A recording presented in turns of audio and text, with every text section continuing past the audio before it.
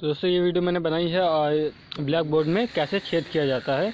वो भी राउंड और बड़ा सा, वायर वगैरह निकालने के लिए और काफ़ी ज़रूरत होती है कभी कभी हवा या गैस की वजह से या हीट के वजह से करने के लिए। तो इसके लिए वीडियो बनाया हूँ। ये मशीन है हमारी, डिग मशीन। उसके अंदर ये फल्ला बांधा है मैंने। और ये मैं छेद करने जा रहा हूँ। इसमें ज़्यादा, बड़ी और बिजली की आवश्यकता नहीं होती। है नॉर्मल डिग मशीन में ही ये पल्ला बन जाता है। तो इसमें छेद हो जाता है।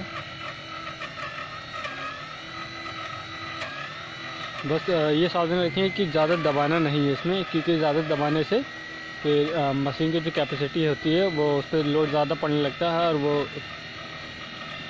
फिर रुकने लगती है। इसलिए हल्के हाथ से बस थोड़ा सा दबाना है इसमें और छेद धीरे धीरे होता चला जाएगा।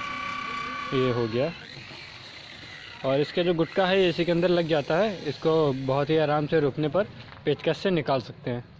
ये दोनों तरफ़ खाँचे बने होते हैं इसके, क्योंकि, और इसको आराम से निकाल सकते हैं।